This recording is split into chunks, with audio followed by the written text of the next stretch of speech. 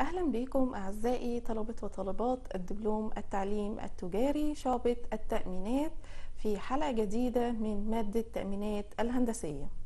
وزي ما إحنا عارفين إن إحنا أخدنا في الحلقة اللي فاتت تأمين جميع أخطار المقاولين. الحلقات هناخد الإيه؟ هناخد الاستثناءات العامة لوثيقة تأمين جميع أخطار المقاولين. بس قبل ما نبدأ نقول الاستثناءات عاوزين نفتكر مع بعض إحنا أخدنا إيه الحلقة اللي فاتت؟ أخدنا اللي هي التغطية التأمينية في تأمين أو في وثيقة تأمين جميع أخطار المقاولين. وقلنا هنا الحماية التأمينية بعمل حماية تأمينية لمين؟ لصاحب المشروع الأصلي. أنا بعمل الحمايه التامينيه لأربع حاجات. إيه هما؟ اللي هو صاحب المشروع الأصلي. المقاول المهندسين التنفيذيون والمقاولين من الباطل دول أربع حاجات اللي أنا بعمل حماية تأمينية. بعمل حماية إيه؟ تأمينية. في وثيقة تأمين جميع أخطار المقاولين. طب واتكلمنا عن إيه تاني؟ اتكلمنا عن المدة مدة التأمين. قلنا إن مدة التأمين بتنقسم إلى اتنين اللي هي مدة الإنشاء ومدة الصيانة. طيب اتكلمنا عن إيه تاني؟ اتكلمنا عن نوعية الاخطار وقلنا إن نوعية الاخطار بتنقسم إلى نوعين اللي هي الأضرار المادية والمسؤولية المدنية اتجاه الغير أو المسؤولية المدنية للغير. اتكلمنا الحلقة اللي فاتت عن اللي هو الأضرار المادية. وقلنا إن الأضرار المادية دي اللي هي الأضرار اللي بتلحق بالمؤمن عليه أو المؤمن له. بتلحق ليه اللي هي بتكون مثلا على بتلحق بالاضرار بتكون مثلا الاضرار المادية ليه طب لو إحنا هنيجي بقى مع بعض زي ما إحنا اتكلمنا إحنا وقفنا عن الاضرار المادية. هنيجي عند المسؤولية المدنية للغير. بس قبل ما ندخل على المسؤولية هنشوف إيه هي الأضرار المادية.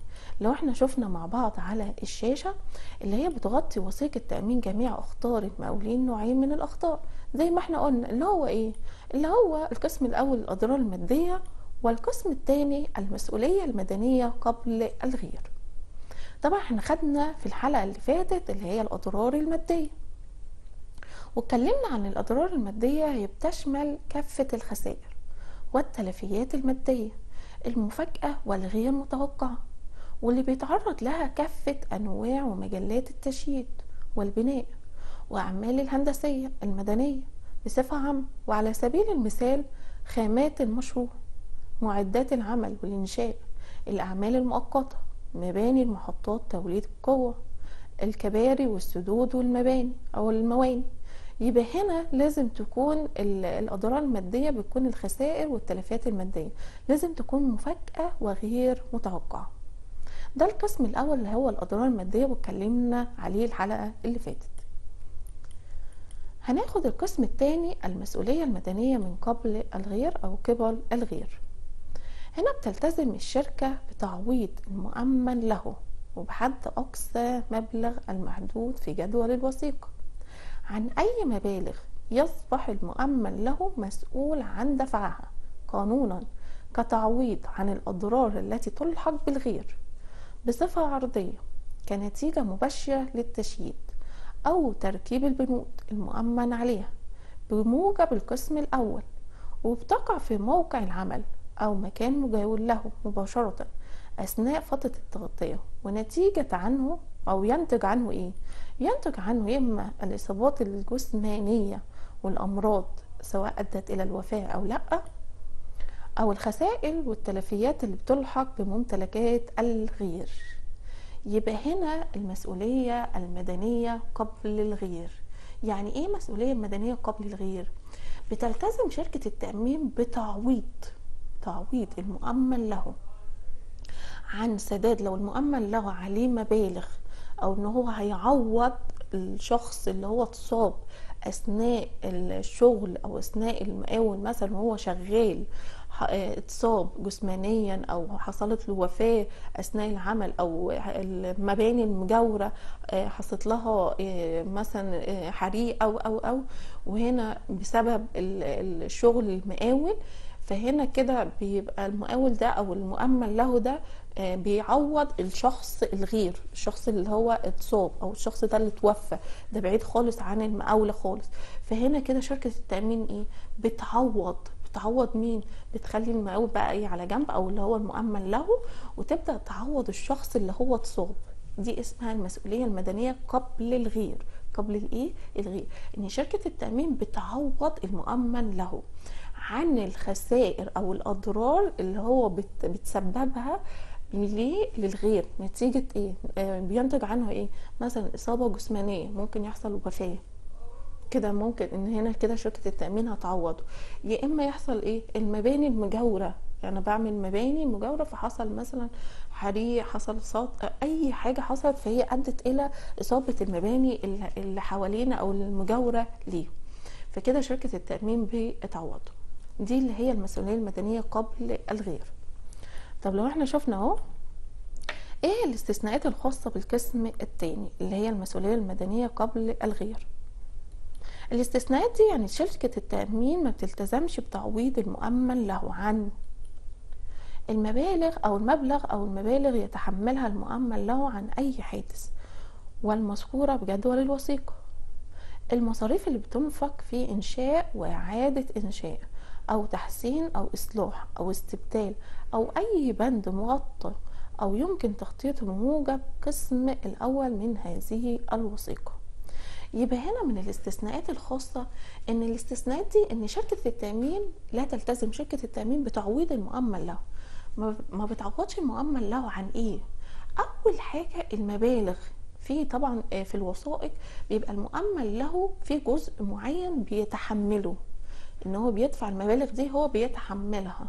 فهنا الجزء ده هل شركة التأمين هتعوضه عليها؟ لا طبعا لأن المؤمن له هو بيتحمل جزء بالتحمل ده شركة التأمين ما بتديش عليها حاجة.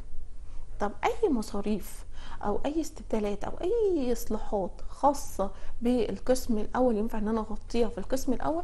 هنا كده شركة التأمين مش هتعوض في القسم الإيه؟ في القسم الثاني طب تالت حاجة لو إحنا شفنا أهو مع بعض.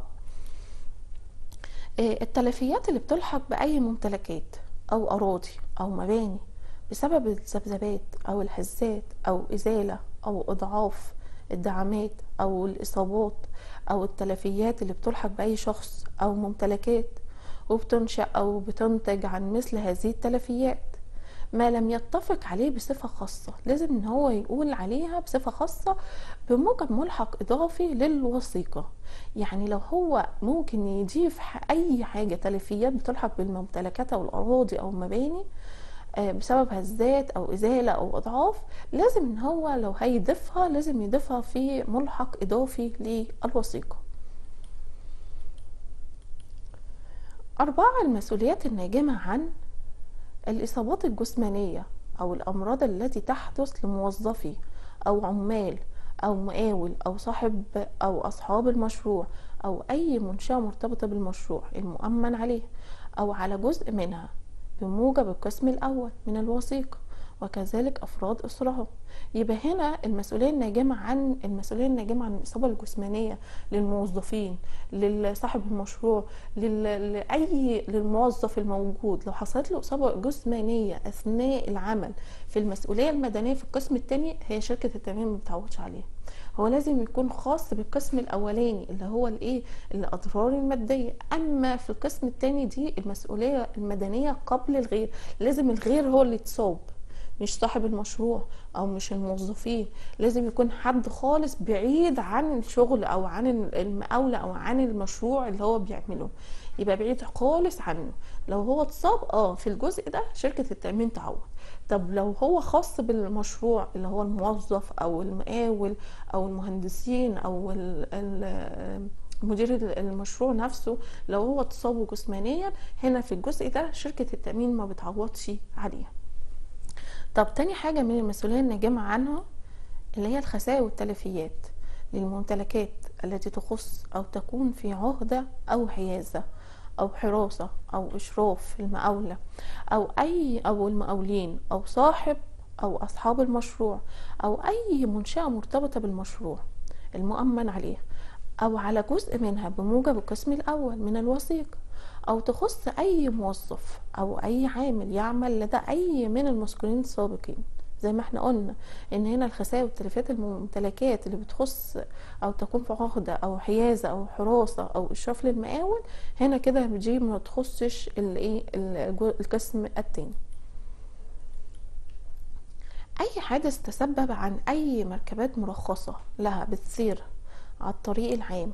أو تسبب على أي مركبات مائية أو طائرات. هنا برضك شركة التامين ما إيه ما بتعوضش في الجزء ده. أي اتفاق يبرم المؤمن له ويلتزم بمقتضاه بدفع أي مبلغ على سبيل التعويض أو غير ذلك ما لم يكن هذا الالتزام قائما أيضا في حالة عدم وجود مثل هذا الاتفاق. لو هو المؤمن له اتفق المؤمن له اتفق إن هو يعوض الشخص ده أو يعمل ده هل شركة التأمين أنت اتفقت خلاص أنت اللي تتحمل المسؤولية. شركة التأمين مش هتتعوض أو مش هت مش هتتحمل الاتفاق اللي أنت اتفقت بيه. بس لو أنت أثبتت في الوثيقة في الاتفاق ده مفيش يبقى كده شركة التأمين هتعوض أو هتدي. طب هنا الاتفاق لو أنت اتفقت من غير حتى ما تبلغ شركة التأمين يبقى هنا أنت اللي بتتحمل التعويض مش شركة التأمين. أي اتفاقيات آه، من غير ما أنت تبلغ شركة التأمين أو شركة التأمين توافق عليها هنا يبقى أنت اللي بتت إيه أنت اللي تتحمل الاتفاق ده وأنت اللي تعوض الشخص اللي أنت اتفقت معاه. الجزء اللي بعد كده الاستثناءات العامة لوثيقة تأمين جميع أخطار المقاولين. الاستثناءات العامة لوثيقة تأمين جميع الأخطار المقاولين أي حاجة أي الاستثناءات دي يعني شركة التأمين ما بتعوضش طب ما بتعوضش على إيه؟ لو حصل حرب حرب أهلية آه، حصل آه، آه، خراب أو حصل مثلا شغب أو حصل مثلا الزلازل براكين الحاجات دي هي شركة التأمين ما بتعوضش عليها. دي الاستثناءات العامة على الوثيقة كله. إحنا خلصنا خلاص النوعين اللي هي الأضرار المادية والمسؤولية المدنية وقبل الغير. هندخل على الاستثناءات العامة. والاستثناءات العامة دي بيبقى مثلا لو الشخص ده حصل فيه حرب الحروب الأهلية المظاهرات الشغب أو التوقف توقف عن العمل لو هو الشخص ده توقف من غير ما يبلغ شركة التأمين إن هو هيتوقف عن العمل وحصلت آه، خسارة شركة التأمين ما بتعوضش عليها طب نيجي مع بعض نشوف إيه هي الاستثناءات العامة. أول حاجة من الاستثناءات العامة زي ما إحنا قلنا الحرب الغزو أعمال العدو الأجنبي الحرب الأهلية. دي من الاستثناءات. لو حصل حرب أو حصل غزو أو أعمال العدو الأجنبي هنا شركة التأمين ما بتعوضش عليه. التمرد الشغب الاضطرابات الأهلية أو الاضطرابات العمالية أو إغلاق المصانع أو التخريب أو الإرهاب كل دي شركة التأمين ما بتعوضش عليها لو حصل آه، آه، خسارة في الحاجات دي. الحجز أو الاستيلاء أي كان سببه أو تدمير أو إتلاف الممتلكات بأمر أو بإذن أي حكومة الشرعية أو أي سلطة عامة لو حصل استيلاء أو تدمير أو إتلاف ممتلكات آه، بأمر أو بإذن حتى لو حكومة أو أي سلطة عامة هنا كده شركة التأمين مش هتعوض عليه لو حصل الحجز أو الاستيلاء أو حصل وهنا الحكومة هي اللي قالت ده أو حصل استيلاء من آه، جهة شرعية أو آه، أو سلطة عامة أو أي حاجة وحصل الاستيلاء على المنشأة دي أو المبنى ده هنا كده هيحصل خسارة. هل هنا كده شركة التأمين هتعوض عن الخسارة دي أو هتعوض اللي هو صاحب أو المؤمن له؟ لا كده هي مش هتعوض لأن دي من الاستثناءات. حتى لو دي من من من الشريعة أو حاجة أو تبع السلطة العامة. طب رابع حاجة من الاستثناءات اللي هي الاشعاعات الإيوانية. أو التلوث بالنشاط الإشعاعي من أي وقود نووي أو أي نفايات نووية ناتجه عن احتراق وقود نووي. أي إشعاعات ايوانيه أو تلوث بالنشاط الإشعاعي برضك شركة تأمين ما بتعوضش عليها. آه، مواد الأسلحة النووية بردك المواد الأسلحة النووية بردك شركة التأمين ما بتعوضش عليها من الخسارة. الأفعال المتعمدة أو الإهمال الجسيم من جانب المؤمن له أو ممثليها. الأفعال المتعمدة الأفعال المتعمدة أو الاهمال إن أنت كمؤمن له خلاص أنت شايف إن هنا أنا آمنت فخلاص أنا ههمل. إن أنا مش ههتم أو إن أنا إيه خلاص أنا مأمن لو حصل أي حاجة أو حصل كارثة هنا شركة التأمين هتعوض. بس لو شركة التأمين عرفت إن أنت أهملت أو أنت ما كنتش بت- بتعمل الإجراءات الاحترازية بتاعتك أو اللي أنت متفق بيها في الوثيقة. هل هنا كده شركة التأمين هتعوض؟ لا شركة التأمين ما هتعوضش لأن دي من الاستثناءات العامة. وآخر حاجة من الاستثناءات العامة اللي هو التوقف عن العمل. التوقف عن العمل ده كليا أو جزئيا. لو أنت توقفت عن العمل من غير حتى ما تبلغ شركة التأمين وحصل هنا خسارة هل هنا كده شركة التأمين هتعوضك؟ لأن كده شركة التأمين مش هتعوض عشان أنت توقفت عن العمل ودي من الاستثناءات العامة. يبقى هنا سابع حاجة اللي إحنا شفنا مع بعض أهو. توقف العمل سواء كان كليا أو جزئيا. هنا دي هتكون دي آخر حاجة من الاستثناءات العامة. طب بعد كده هناخد إيه؟ نيجي نشوف بردك الجزء اللي إحنا شرحناه. ممكن يجي فيه إيه؟ صح وخطأ. اللي هي الحروب والأعمال العدائية والحجز والمصادرة. من الاستثناءات العامة لوثيقة تأمين جميع أخطار المقاولين طبعا إيه؟ صحيحة. هناخد بعد كده الشروط العامة للوثيقة. والشروط العامة للوثيقة دول هم 15 بند أو 15 نقطة من الشروط العامة للوثيقة. أول شرط من الشروط إن أنت لازم إن أنت إيه تتبع الإجراءات والقوانين أو القواعد والشروط الخاصة بالوثيقة. الوثيقة هنا بيبقى فيها شروط خاصة أو آه، إجراءات أو لوائح موجودة في الوثيقة لازم إن أنت تلتزم بيها. لازم إن أنت تلتزم إيه؟ بيها. ما ينفعش إن إحنا نقول إن أنا عملت الوثيقة دي أو إن أنا عندي عملت الوثيقة أمنت على ال- الشخص أو أمنت على المكان ده خلاص إن أنا أهمله أو إن أنا ما أمشيش على الإجراءات والقواعد واللوائح الموجودة في الوثيقة. هنا كده لأ لأن دي من الشروط العامة للوثيقة. طب هنيجي مع بعض نشوف لأن هم يكون 15 آه، شرط من الشروط. فنيجي أول شرط من الشروط مع بعض اللي هي مراعاة شروط وأحكام الوثيقة. زي ما قلنا إن أنا لازم إن أنا أراعي شروط وأحكام الوثيقة. هنا بيعتبر شرطا مسبقا لوفاة الشركة بمسؤوليتها التزام المؤمن له بتنفيذ ومراعاة كل ما ورد بهذه الوثيقة من شروط وواجبات. يبقى هنا لازم إن أنت تلتزم أو تراعي شروط وأحكام الوثيقة. ولازم إن أنت تكون مسؤوليات دي التزامات المؤمن له بتنفيذ ومراعاة كل ما ورد بالإيه؟ بالوثيقة. الشرط الثاني تغيير الخطر. تغيير الخطر يجب على المؤمن له اختار الشركة كتابة وبشكل فوري بأي تغيير جوهري في الخطر.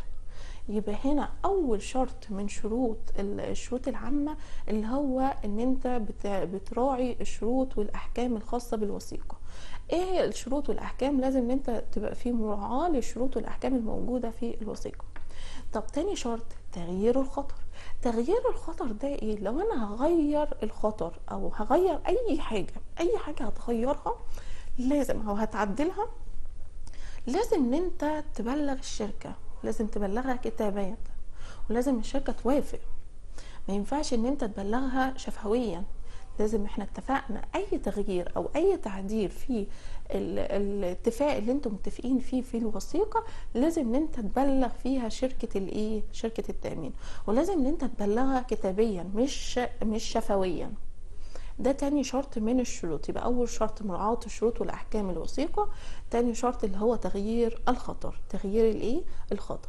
طب تالت نوع تالت شرط لو إحنا شفنا اهو اللي هو الاحتياطات الواجبة على المؤمن له.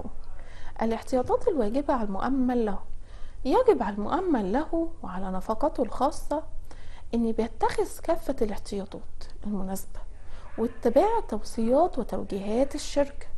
لازم إن هو المؤمن له إن هو يجب على المؤمن له وعلى نفقته الخاصة إن بيتخذ كافة الاحتياطات المناسبة واتباع توصيات وتوجيهات الايه الشركة ما ينفعش إن أنت تقول خلاص إن أنت خلاص عملت الوثيقة فخلاص إن أنت ما تعملش الاحتياطات المناسبة ليك وما تاخدش التوصيات الخاصة بالشركة رابع حاجة الفحص والمعاينة. آه لممثلي الشركة الحق في فحص ومعاينة الأخطار المؤمن فيه في أي وقت مناسب. يبقى هنا في الفحص والمعاينة من الشروط إن شركة التأمين من حقها إن هي تعمل فحص ومعاينة تعمل فحص وإيه معاينة. في أي وقت في أي وقت تروح تعمل فحص وتعمل معاينة. ما ينفعش إن أنت إيه؟ ما شركة التأمين تيجي وهي رايحة تعمل معاينة أو فحص آه تقول لها لا ما ينفعش. هي لا هي من حقها شركة التأمين إن هي تعمل معاينة وفحص. طب هنفتكر مع بعض. إحنا أول شرط خدناه إيه؟ أخدناه مراعاة الشروط والأحكام الوثيقة. طيب تاني شرط أخدنا تغيير الخطأ تالت شرط الاحتياطات. ورابع شرط اللي إحنا لسه قايلينه أهو اللي هو الفحص والمعاينة. الفحص والإيه؟ والمعاينة. طيب آه خامس شرط من الشروط لو إحنا شفناه مع بعض اللي هي واجبات المؤمن له عند وقوع الحادث. إيه هي واجبات المؤمن له عند وقوع الحادث؟ أول حاجة اختار الشركة فورا تليفونيا أو برقيا اتخاذ كل الخطوات التي في إمكانه العمل على تقليل حجم الخسارة أو الأضرار. المحافظة على الأجزاء التي أصابها الضرر. وتمكين الشركة أو خبرائها من معاينتها وفحصها. إحنا اتفقنا إن هو لازم إن هي تعمل معاينة وفحص. اختار الشرطة فورا في حالة وقوع خسارة أو خسائر أو أضرار بسبب حادث حريق أو سرقة أو سطو.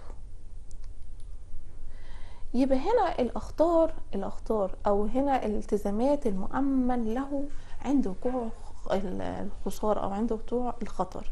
يبقى هنا المؤمن له اما يحصل خطر أو يحصل خسارة أو يحصل حادث أول حاجة يعمل إيه؟ لازم يبلغ شركة التأمين فورا كتابة ممكن تليفون أو برقية لو حصل اللي هو سرقة أو سطو أو حريق أو أو أو يحاول إن هو يحافظ على المتبقي الحاجات المتبقيه عشان يقدر يخلي إن شركة التأمين تقدر إن هي تعمل معاينة وفحص طبعا لازم يبلغ الشرطة على الحادث اللي هي سرقه أو سطو أو أو حريق أي حاجة لازم يبلغ اللي هي الشرطة. ولازم برضك إن هو يبلغ الشركة إن هو عمل بلاغ في الشرطة ورقم المحضر رقم كذا. دي في من الإجراءات لو حصل أي خسارة أو أي الحادث لازم دي الإجراءات اللي هو المؤمن له يقدر إن هو لازم يعملها لشركة التأمين. لازم إن هو يبلغ شركة التأمين يا إما تليفون يا إما برقيه ولازم إن هو. يحافظ على المتبقي منه ويخلي عشان يقدر يخلي إن الشركة تقدر تعمل معاينة والفحص ولازم إن هو يبلغ شركة يبلغ الشرطة ويعمل ويبلغ الشركة برقم المحضر اللي هو اتعمل بيه ده كان هو اللي هو الإجراءات أو اللي بيتخذها المؤمن له عند وقوع الحادث. عند وقوع الإيه؟ الحادث. طب الشرط اللي بعد كده اللي هو شرط رقم ستة اللي هو إعادة مبلغ التأمين إلى قيمته الأصلية. يجوز بناء على طلب المؤمن له إعادة مبلغ التأمين. ينفع إن أنا أعيد مبلغ التأمين إلى قيمته الأصلية؟ وذلك نظير سداد قسط نسبي عن الفترة المتبقية من التأمين. عن الفقرة المتبقية من الإيه؟ من التأمين. من حق المؤمن له إن هو يعيد مبلغ التأمين إلى قيمته الأصلية. إلى قيمته الأصلية دي إن هو بيدفع هنا آه نظير سداد قسط نسبي. آه سبعة من الشروط اللي هي تطبيق مبدأ الحلول في الحقوق. يعني إيه مبدأ الحلول في الحقوق؟ هنا بيقولك يجب على المؤمن له قبل أو بعد حصوله على التعويض من الشركة أن يقوم ويسمح ويساهم في القيام على نفقة الشركة بكل ما قد يكون ضرورية لاستعمال الحقوق ومباشرة الدعاوي التي تحل فيها محل المؤمن له. مبدأ الحلول في الحقوق يعني الشركة شركة التأمين هي بتحل محل المؤمن له. شركة التأمين بتحل محل المؤمن إيه؟ مؤمن له. هي خلاص بتدي للمؤمن له التعويض بتاعه وتبدأ إن هي تحل محله في الدعاوى أو القضايا الموجودة في المرفوعة. عشان تقدر إن هي تاخد لو لو في شخص هو المتسبب الحادث ده أو الحريق ده هي تقدر إن هي تاخد منه التعويض. يبقى هنا شركة التأمين بتروح تعوض المؤمن له. بعد ما بتأمن آه، بتعوض المؤمن له تبدأ تعمل إيه؟ تبدأ إن هي تشوف المؤمن آه، تبدأ تشوف مين المتسبب عن الحادث ده. وتشوف مين المتسبب عن الحدث ده وتبدأ إن هي تحل محل المؤمن له في القضايا أو في الدعاوى اللي هي مرفوعة في المحاكم.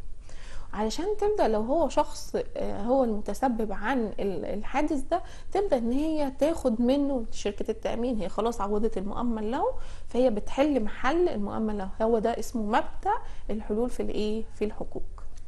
ده كان رابع سابع. تسقط جميع الحقوق الناشئة عن هذه الوثيقة إذا قدم المؤمن له. بيانات مخالفة للحقيقة أو غير صحيحة. أو أخفى بيانات أو حقائق جوهرية من شأنها التأثير على قرار الشركة بقبول طلب التأمين. ممكن هنا ده سقوط الحق. زي ما إحنا اتفقنا هو سقوط الحق إيه؟ إن ممكن إن شركة التأمين تلغي الوثيقة أو تسقط الحق. تسقط الحق إمتى؟ إذا هنا قدم بيانات خاطئة أو غير صحيحة أو مخالفة للحقيقة أو أخفى بيانات أو حقائق جوهرية. النقطة اللي بعد كده تطبيق مبدأ المشاركة. الشركة لا تكون مسؤولة عن تعويض هذه الخسائر أو الأضرار إلا بنسبة مبلغ المؤمن به. لديه إلى مجموعة مبالغ المؤمن بها على نفس الأشياء. مبدأ المشاركة دي إن هنا الشركة ما بتكونش مسؤولة عن تعويض عن الخسائر والأضرار إلا بالنسبة المبلغ المؤمن به لديها. هنا بيبقى إيه؟ بيبقى هنا المؤمن له بيروح يأمن في كذا شركة. فهنا الشركة دي بتكون خاصة بجزء معين أو هنا النسبة بتاعتها معينة. فهنا ما يحصل أي خسارة أو هنا بيحصل خطأ هنا شركة التأمين تعوض على الجزء الخاص بيها ملهاش دعوة بالأجزاء التانية. لأن هو ما عملش إيه؟ ما أمنش في شركة واحدة هو آمن في كذا شركة. هل كل شركة هتعمل تعوض على المبالغ كلها؟ لا طبعا. هي الشركة بتعوض على الجزء الخاص بها الجزء الخاص بها بمبلغ التأمين اللي هو دفعه. دي هي اللي هي اسمها إيه؟ المشاركة مبدأ المشاركة. مبدأ المشاركة إن الشركة بتعوض على الجزء الخاص بها بمبلغ التأمين اللي هو خاص بها اللي هو الأقساط اللي هو دفعها أو اللي هو متفق عليها. مش هتعوض على الكل. ده اللي هو مبدأ اللي هو تسعة تطبيق مبدأ المشاركة. طب عشرة الجزء اللي بعد كده؟ إرجاء سداد التعويض. إرجاء سداد التعويض.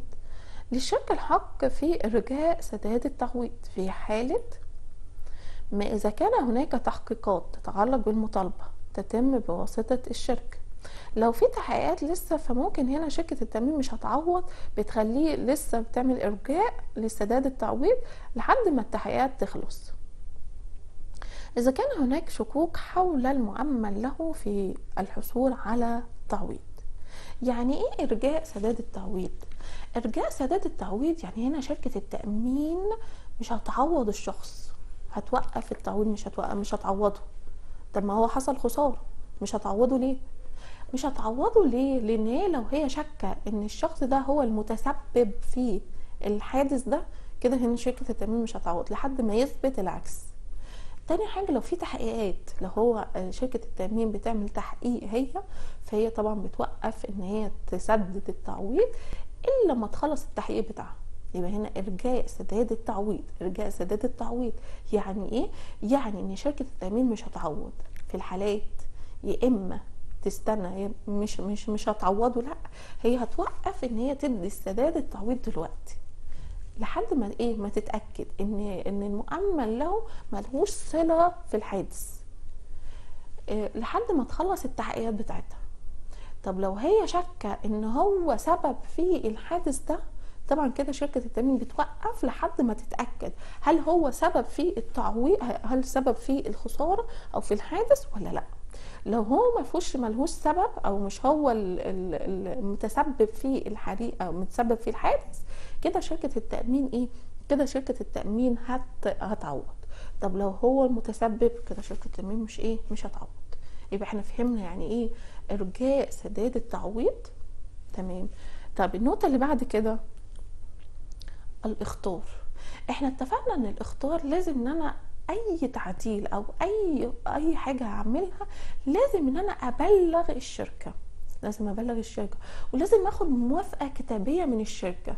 ما ينفعش إن أنت تبلغها تليفونيا آه، وهنا كده ممكن يحصل خطر فهتقول لك لا أنت ما قلتليش. ال- الإثبات إن أنت إن أنا وافقت على تغيير أو تعديل أو أي حاجة يبقى لازم هنا تاخد موافقة كتابية من الشركة. يبقى هنا لما نيجي مع بعض نشوفها أهي كل اختار أو مخاطبة للشركة خاصة بالوثيقة يجب أن تكون كتابية وأن توجه إلى الجهة التي أصدرت الوثيقة. يبقى زي ما إحنا اتفقنا إن الاختار دي لازم أي اختار أو أي مخاطبة للشركة خاصة بالوثيقة لازم تكون كتابية ما يبقاش شفهية. ولازم توجهها إلى الجهة اللي أصدرت الوثيقة. هنا 12 الشرط الفاسخ. للشركة التأمين الحق في حالة عدم قيام المؤمن له بسداد قسط التأمين. في موعد استحقاقه أن تخطر المؤمن له بوقف عقد التأمين مع إنذار بموجب سداد القسط خلال عشرة أيام وإلا اعتبر العقد مفسوخا. يبقى هنا شركة التأمين الحق في حالة عدم قيام المؤمن له بسداد القسط إن هي بتديله موعد استحقاق ما, ما سددش القسط في موعد استحقاقه إن تخطر المؤمن له بوقف عقد التأمين وبتنذره بموجب سداد القسط خلال كام؟ عشر أيام واللي اعتبر العقد إيه؟ مفسوخا. شرط التقادم هنا بتخلي ذمة شركة التأمين من دفع قيم آه، قيم الخسائر أو الأضرار الناجمة عن الحاد الحوادث بعد انقضاء ثلاث سنوات من علم المؤمن له ما لم يكن هناك تحكيما أو دعوة قضائية قائمة ومتعلقة بالمطالبة. يبقى هنا شركة التأمين هي بتخلي ذمتها من دفع قيمة الخسائر أو الأضرار اللي هو الإيه؟ هنا التقادم في أو شرط التقادم. إلا إيه؟ هنا عن الحوادث. بعد انقضاء كام؟ ثلاث سنوات. لو هو فضل ثلاث سنوات وما طلبش أو كده فهنا كده شركة التأمين مش هتعوض. إلا إذا كان لو إيه؟ لو كان في تحكيم أو دعوة قضائية قائمة ومتعلقة بالمطالبة. آه، 14 اللي هي المحاكم المختصة. ودي الشروط من الشروط العمل اللي هي المحاكم المختصة. هنا المنازعات اللي بتنشأها عن تفسير هذه الوثيقة أو تنفيذها وتتكون من اختصاص المحكمة المختصة التي يقع في دائرتها المركز الرئيسي للشركة. يعني أي منازعات أو أي حاجة تخص الوثيقة آه لازم إن إحنا لو هنعمل آه بتخص المحكمة المختصة ولازم تكون بتقع في دائرة المركز الرئيسي للشركة. آخر حاجة من الشروط العامة هو جدول الوثيقة وملاحق الوثيقة. هنا جدول الوثيقة وأقسامها وملاحقها جزء متمم لها وعبارة هذه الوثيقة إنما وردت في هذا العقد تتضمن الجدول والأقسام والملاحق والمتمم لها. هنا الوثائق زي ما إحنا اتفقنا أو الوثائق دي لازم يكون فيها أنا بقدم طلب تأمين والمستندات الخاصة هي خاصة بالوثائق الموجودة. طبعا إحنا كده اتكلمنا عن الشروط العامة للوثيقة. الشروط العامة لوثيقة تأمين جميع أخطار المقاولين. وقلنا إن هم كام شرط؟ إن هم 15 15 شرط أنا مش هقولك إن أنت هتحفظهم بس لازم إن أنت تكون فاهمهم ولازم تبقى عارفهم اللي هم 15 شرط. ممكن يجي لك يقول لك هو تغيير الخطر من الشروط العامة لوثيقة تأمين جميع أخطار المقاولين. ده صح ولا خطأ؟ آه طبعا صح. لأن هو تغيير الخطأ قلنا إن هو من الشروط. طب لو قلنا آه مثلا من الشروط آه مراعاة الشروط وأحكام الوثيقة من الشروط العامة لوثيقة تأمين جميع اخطار المقاولين آه طبعا صحيحة. يبقى لازم هنا مع بعض لازم نشوف اللي هي الشروط العامة للوثيقة اللي هم 15 ولازم تكون فاهمهم كويس جدا. أنا مش عاوزاك تكون حافظ. أنا عاوزاك إن أنت تكون فاهم. وفاهم من 15 الشرط من شروط العامة لوثيقة تأمين جميع أخطار المقاولين. هنيجي بعد كده الجزء اللي بعد كده اللي هو أوجه الخلاف المقارنة بين وثيقة تأمين جميع أخطار المقاولين والمسؤولية العشرية. لو إحنا هنيجي نشوف الفرق بين الوثيقتين دول ونقدر إن إحنا نفرق بينهم. وخلي بالكم دي مهمة جدا ولازم تيجي في الامتحان المقارنة دي لازم بتيجي في الامتحان على طول. فلازم إن أنت تركز معايا فيها. طيب هنيجي مع بعض أهو. إيه هو أو قبل ما نيجي على الخلاف في ممكن أكمل اللي هو شرط التقادم. يعني انه تخضع هذه الوثيقة لشرط التقادم. اعمالا من نص المادة 752 من القانون المدني المصري. حيث تخلي ذمة شركة التأمين من دفع قيمة الخسارة الناجمة عن حوادث بعد انقضاء ثلاث إيه ثلاث سنوات. زي ما إحنا أهو أوجه الخلاف بين وثيقة التأمين جميع أخطار المقاولين ووثيقة تأمين المسؤولية العشرية. هناخد التغطية في الوثيقة العشرية ووثيقة تأمين جميع أخطار المقاولين. في الوثيقة العشرية بتغطي الوثيقة العشرية المسؤولية المدنية للمهندسين والمقاولين عن الأضرار التي تلحق بمالك البناء وكذلك التي تلحق بالغير خلال فترة تنفيذ الأعمال يبقى هنا الوثيقة العشرية هي المسؤولية المدنية بتغطي إيه؟ بتغطي المسؤولية المدنية للمهندسين والمقاولين عن الأضرار اللي بتلحق بمالك البناء وكذلك اللي بتلحق بالإيه؟ بالغير خلال فترة تنفيذ الأعمال. طبعا هنا في تأمين وثيقة تأمين جميع أخطار المقاولين. هي بتغطي إيه؟ بتغطي مسؤولية المقاول فقط قبل الغير اللي هي دون المالك. فيما يصيبهم من أضرار مادية أو جسمانية خلال فترة تنفيذ الأعمال. وبتنتهي بانتهاء هذه المدة أو في تاريخ تسليم البناء أيهما يكون أولا. يبقى أنا عندي في الوثيقة العشرية بتغطي إيه؟ بتغطي المسؤولية المدنية للمهندسين والمقاولين عن الأضرار اللي بتلحق بمالك البناء أما في وثيقة تأمين جميع أخطار المقاولين هي بتغطي مسؤولية المقاول فقط قبل الغير اللي هو دون المالك واللي هي بتصيب من أضرار مادية وجسمانية خلال فترة تنفيذ الأعمال وبتنتهي الوثيقة دي بتنتهي إمتى؟ بتنتهي بانتهاء هذه المدة أو بتاريخ تسليم البناء أيهما يكون أولا. دي التغطية من أو من وجه المقارنة بتاع التغطية. طب تاني حاجة اللي هي المسؤولية المدنية. في الوثيقة العشرية هي بتغطي الوثيقة العشرية المسؤولية المدنية اللي هي بتكون مادية كانت أو جسمانية. والتي يسأل عنها كل من المهندس والمقاول دي في الوثيقة العشرية. هي بتغطي أو بتكون المسؤولية المدنية بتغطي الوثيقة العشرية المسؤولية المدنية اللي هي مادية كانت أو جسمانية. ومين اللي بيسأل عنها؟ اللي هو المهندس والمقاول. طب هنا في وثيقة جميع أخطار المقاولين هو بيغطي القسم الأول من الأخطار المادية للأموال المؤمن عليه وبيغطي القسم الثاني المسؤولية المدنية اللي هي المادية والجسمانية. يبقى هنا في الوثيقة العشرية الوثيقة العشرية المسؤولية المدنية. كانت مادية أو جسمانية وبيسأل منها المهندس والمقاول. أما في تأمين جميع أخطار المقاولين في القسم الأول هي الأخطار المادية اللي هي الأموال المؤمن عليها. طب القسم الثاني المسؤولية المدنية اللي هي المادية والجسمانية. يبقى في المسؤولية المدنية في الوثيقة العشرية والوثيقة اللي هي مسؤولية وثيقة تأمين جميع أخطار المقاولين. دي خاصة بالمهندس والمقاول بيسأل عنها المهندس والمقاول هنا بيسأل عليها أو هنا بيكون القسم الأول آه، وثيقة الأخطار المادية للأموال والقسم الثاني المسؤولية المدنية المادية والجسمانية. سعر التأمين. هنا في الوثيقة العشرية بمقدار 2% من قيمة الأعمال الواردة برخصة البناء وهذا السعر لتغطية فترة الإنشاء. يبقى 2% دي خاصة بفترة الإنشاء. بالإضافة لفترة الضمان وقدرها كام؟ عشر سنوات طبقا لنص المادة 651 من القانون المدني المصري. يبقى الوثيقة العشرية سعر التأمين هو بمقدار 2% من قيمة الأعمال الواردة برخصة البناء. في رخصة البناء بيعمل هنا 2% من قيمة الأعمال. وإن السعر ده لتغطية فترة الإنشاء أنا بغطيه في فترة الإيه؟ الإنشاء. بالإضافة لفترة الضمان واللي هي قدرها كام؟ عشر سنوات. مين اللي بيطبق طبقا للمادة كام؟ مادة 56 من القانون المدني المصري. طب وثيقة تأمين جميع أخطار المقاولين.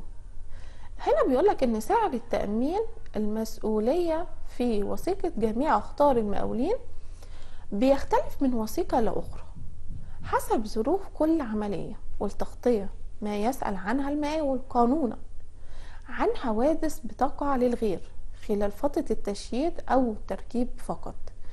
يبقى أنا عندي إن سعر التأمين بيختلف من وثيقة إلى أخرى حسب ظروف عملية التغطية وهنا ما يسأل بيسأل منه المقاول قانون عن حوادث بتقع للغير خلال فترة التشييد والتركيب فقط.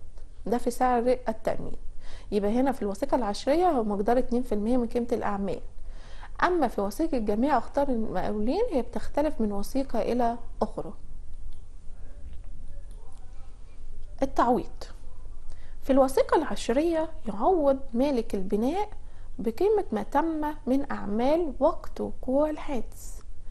أما بالنسبة للغير الذي يلحقه ضرر مادي أو جسماني فقد حددت بمقدار مائة ألف جنيه للفرد الواحد وبحد أقصى للكارثة 2 مليون جنيه. يبقى هنا بنعوض مالك البناء بكم تم من أعمال وقت وقوع الحادث. أما بالنسبة للغير الذي يلحق ضرر مادي أو جسماني فقد حددت بمقدار كام؟ مية ألف جنيه للفرد الواحد. وبحد أقصى للكارثة يبقى هنا مية ألف جنيه للفرد الواحد بحد أقصى للكارثة اتنين مليون جنيه. طب في وثيقة تأمين جميع أخطار المقاولين هنا التعويض طبقا لما تم الاتفاق عليه بين شركة التأمين والمقاول المذكور في جدول الوثيقة. وبعد خصم مقدار التحمل المتفق عليه من مبلغ التعويض. يبقى هنا في الوثيقة العشرية. الوثيقة العشرية أنا بعوض المالك البناء. بعوض مالك البناء عليها. هنا بيكون آه، في لو لو للغير بعوض الشخص ده بيكون مية ألف جنيه مية ألف جنيه للفرد الواحد. بحد أقصى اللي هو الكارثة بتكون اتنين مليون جنيه. أما في الوثيقة تأمين جميع أخطار المقاولين هنا في التعويض أنا بعوض على حسب الاتفاق الموجود في الوثيقة. بعوض على حسب الاتفاق الموجود في الإيه؟ في الوثيقة. أنا بتفق إن أنا لو حصل أي خسارة أو أي خطر هنا شركة التأمين هتعوضني عليه. يبقى هنا أهو بتعوض بعد خصم إيه؟ مقدار التحمل. أنا هنا الاتفاق عليه إن التعويض طبقا لما تم الاتفاق عليه بين شركة التأمين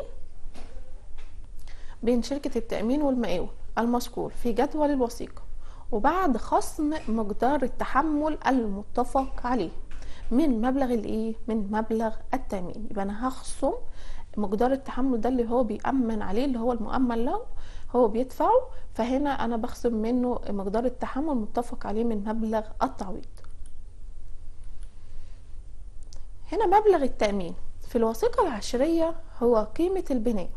المرخص بإنشاء فقط والمدون برخصة البناء. يبقى هنا مبلغ التأمين في الوثيقة العشرية هي قيمة البناء المرخص بإنشاء فقط ومدون برخصة البناء. أما في وثيقة جميع أخطار المقاولين هو قيمة عقد المقاولة. هي قيمة عقد الإيه؟ المقاولة. الذي يشمل قيمة المواد التي يستخدمها المقاول وقيمة أجور العمال. بالإضافة إلى القيمة الاستبدالية للمعدات البناء والآلات الإنشاء وتكاليف وإزالة الأنقاض يبقى هنا في الوثيقة العشرية المبلغ التأمين بيتحدد من أو هو قيمة البناء المرخص بإنشاء فقط والمدونة برخصة البناء. أما في وثيقة جميع أخطار المقاولين هي بتخص قيمة عقد المقاولة اللي هو بيشمل قيمة المواد اللي بيستخدمها المقاول وقيمة أجور العمال بالإضافة إلى القيمة الاستبدالية للمعدات البناء والآلات الإنشاء وتكاليف وإزالة الأنقاض. الخطأ في التصميم. في الوثيقة الحشرية هنا بتغطي الخطأ في التصميم الذي يقع فيه كل من المهندس والمقاول. يبقى أنا في الوثيقة العشرية أنا بغطي الخطر في التصميم اللي بيقع فيه المهندس والمقاول. أما في وثيقة جميع اخطار المقاولين لا تغطي الخطأ في التصميم لانها لأنها في الأصل تغطي ممتلكات المقاول في جميع الأخطار. يبقى هنا الخطأ في التصميم في في المقارنة بين اللي هي الوثيقة العشرية والوثيقة تامين جميع أخطار المقاولين. في الوثيقة العشرية هي بتغطي خطأ التصميم اللي هو بيقع فيه المهندس والمقاول. أما في وثيقة تامين جميع أخطار المقاولين هي ما بتغطيهاش. ما بتغطيش اللي هي الخطأ في التصميم. طب ليه هي ما بتغطيش؟ لأن هي بتخص أو بتغطي الممتلكات. بتغطي الإيه؟ الممتلكات. دي كانت هي المقارنة بين اللي هي الوثيقة العشرية وثيقه تامين جميع أخطار المقاولين.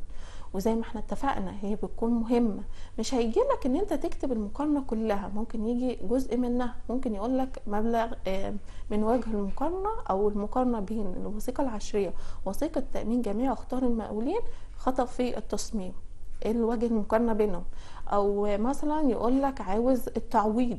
التعويض هنا أنا بعوض المؤمن في الوثيقة العشية بعوض على حسب اللي هو موجود وفي الوثيقة وثيقة تأمين جميع اخطار المقاولين أنا بعوض على حسب موجود في وثيقة التأمين المتفق عليه. ممكن يقول لك مبلغ التأمين على حسب ما هو يقول لك يبقى هنا لازم دي مهمة جدا زي ما إحنا اتفقنا. طيب بعد كده طب لو إحنا في الجزء ده بقى اللي إحنا شرحناه من الأول ممكن يجي فيه إيه؟ ممكن يقولك إن الوثيقة العشرية بتغطي الخطأ في التصميم الذي يقع فيه المهندس والمقاول قبل الغير. إحنا طبعا قلنا إن في إن إن الوثيقة العشرية بتغطي الخطأ في التصميم. اللي بيقع فيه المقاول والمهندس قلنا إن دي هتكون العبارة صحيحة.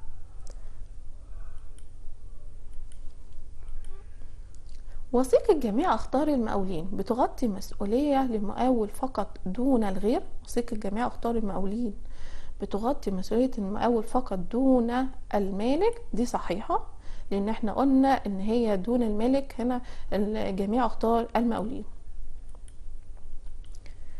قيمة التعويض في الوثيقة العشرية محددة فيعوض مالك البناء بقيمة ما تم من أعمال وقت وقوع الحادث. هنا صحيحة. إحنا قلنا إن إحنا بنعوض وقت وقوع الحادث في الوثيقة العشرية اللي هو في الوثيقة الإيه؟ العشرية. أما في وثيقة تأمين جميع أخطار المقاولين أنا بعوض على المتفق عليه في الوثيقة. المتفق عليه في الإيه؟ في الوثيقة. لو إحنا نفتكر مع بعض إحنا أخدنا إيه من البداية إحنا أخدنا اللي هي وثيقة تأمين جميع أخطار المقاولين واتكلمنا عن الاستثناءات العامة واتكلمنا عن الشروط العامة وقلنا في الاستثناءات العامة إن شركة التأمين ما بتعوضش عن لو حصل حرب أو خسارة لو في حرب أو شغب أو اضطرابات كل دي شركة التأمين ما بتعوضش عليه واتكلمنا عن الشروط العامة وقلنا إن الشروط العامة هم 15 وبعد كده اتكلمنا عن الاوجه الخلاف المقارنة بين الوثيقة العشريه ووثيقة تأمين جميع أخطار المقاولين. آه وللأسف هنا حلقتنا انتهت. آه أتمنى لكم التوفيق واشوفكم على خير. واستنوني في الحلقة الجاية هنتكلم عن تأمين المعدات المقاولين البرية. تأمين المعدات الإيه؟ البرية. آه وإلى اللقاء. وأتمنى لكم التوفيق.